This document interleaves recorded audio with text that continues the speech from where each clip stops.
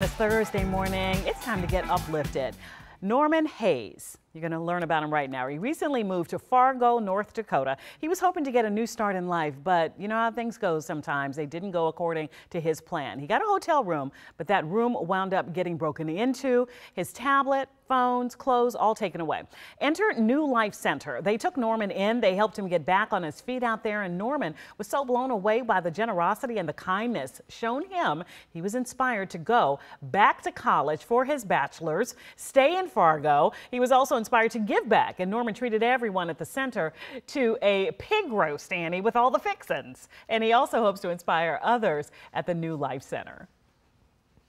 I've been there, I've done that. At the end of, the end of the day, don't give up. You know what I mean? There's always a silver lining.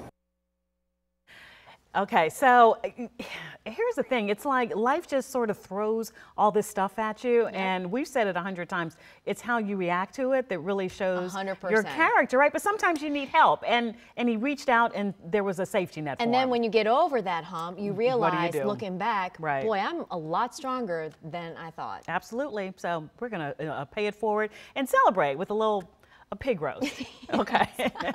I want to share things that uplift you too. Uh. Email us at getuplifted at WUSA9.com. Reach out to me on Twitter or Instagram or on our Get Up DC social pages. Join the conversation. Use that hashtag GetUpDC.